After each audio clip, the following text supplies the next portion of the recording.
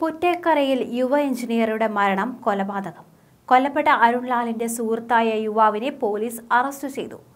പടിഞ്ഞാറേക്കോട്ട ചിറയത്ത് ടിനുവിനെയാണ് Peramangalam police arrest ചെയ്തത്. ടിനുവിന്റെ പ്രണയബന്ധത്തെക്കുറിച്ച് അരുൺ സ്ഥിരമായി കളിയാക്കിയതിന്റെ വൈരാഗ്യമാണ് കൊലപാതകത്തിലേക്ക് നയിച്ചതെന്ന് പോലീസ് പറഞ്ഞു.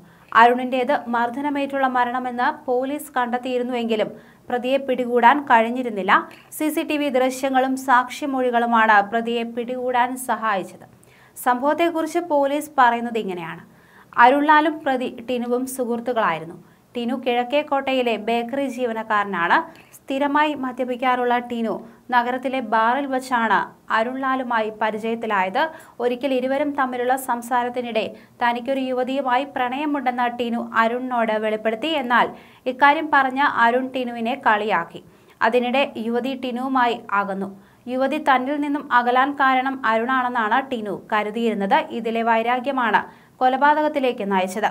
അരുണിനെ കൊല ചെയ്യാൻ പദ്ധതിയിട്ട ടിനു കഴിഞ്ഞ ദിവസം തൃശൂരിലെ ബാറിൽ നിന്ന് മദ്യപിച്ച് പുറത്തിറങ്ങിയ അരുണിനെ കണ്ടു. ബൈക്കിൽ വീട്ടിൽ വിടാമെന്ന് പറഞ്ഞ് കയറ്റിക്കൊണ്ടുപോയി. പുറ്റേക്കരയിലെ ഇടവഴിയിൽ ബൈക്ക് നിർത്തി അരുൺ ലാലിനെ ഇറക്കി മർദ്ദിച്ചു.